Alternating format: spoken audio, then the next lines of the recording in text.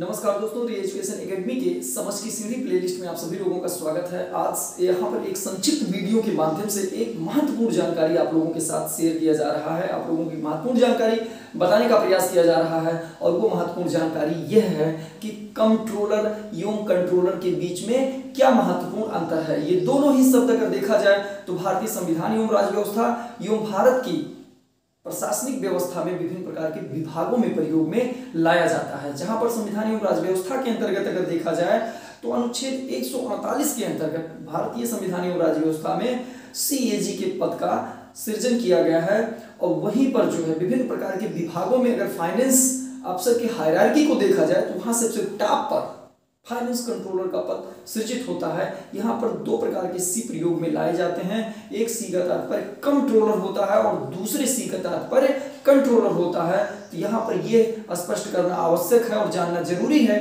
कि इन दोनों के बीच में क्या महत्वपूर्ण अंतर है। तो बेसिकली ये विभिन्न प्रकार के विभागों की जो हायरार्की होती है, उस हायरार्की में फाइनेंस कंट्रोलर सबसे टॉप पर होता है।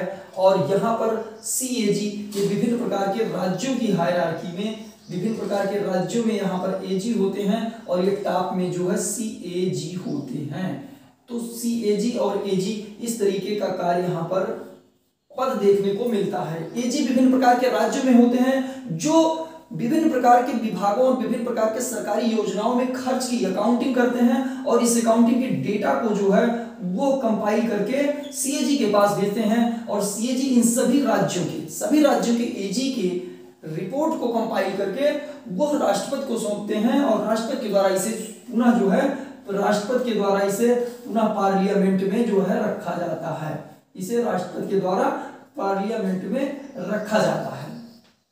यानी कि एजी सीएजी को विभिन्न प्रकार के एजी के द्वारा जो जो है सीएजी को दिया जाता है सीएजी जो इसको प्रेसिडेंट को और प्रेसिडेंट के द्वारा इसे पार्लियामेंट के समक्ष रखा जाता है। तो चूँकि ये बजट जो होता है, वो बजट रिलीज़ हो जाने के बाद खर्च करने के बाद उसकी अकाउंटिंग के डेटा को प्रेषित करते हैं। अर्थात यहाँ पर सीएजी और एजी के पास बजट को देने, बजट पे के खर्च पर कोई नियंत्रण नहीं होता है, बल्कि वो खर्च हो जाने के बाद उसकी जो अकाउंटिंग होती है, उसकी लेखांकन प्रणाली होती है, उस लेखांकन के आंकड़े को प्रेषित करते हैं, अपने से ऊपर के स्तर, यानी सीएजी को सीएजी कंपाइल करके प्रेसिडेंट को, और उसके बाद ये पार्लियामेंट के समक्ष रखा जाता है।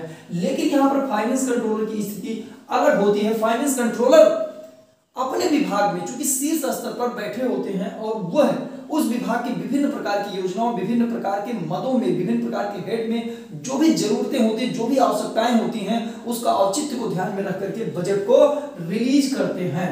तो यहाँ पर जो है फाइनेंस कंट्रोलर के पास बजट खर्च करने के पूर्व उस पर नियंत्रण होता है कि वो कितना बजट अपने विभागों में वितरित करते हैं, कितना विभाग जो है, कितना बजट वहाँ पर रिलीज़ करते हैं। तो इस तरीके से यहाँ जो सी शब्द है और यहाँ सी शब्द है, इन दोनों के बीच में एक अंतर बनता है।